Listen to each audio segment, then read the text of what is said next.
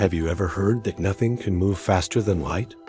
Well, it seems like some galaxies didn't get the memo. But wait, are they really breaking Einstein's ultimate speed limit? The short answer is no. Here is the cosmic loophole. Galaxies are an actually moving asterisk through asterisk space faster than light.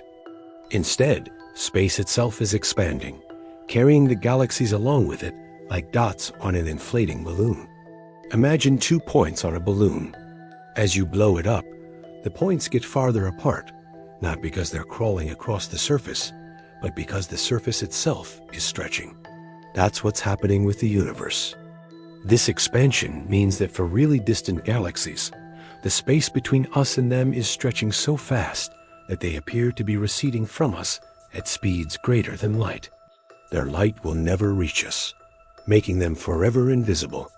It's not a violation of physics, just a mind-bending feature of our expanding universe. Thanks for watching, and don't forget to subscribe for more cosmic mysteries.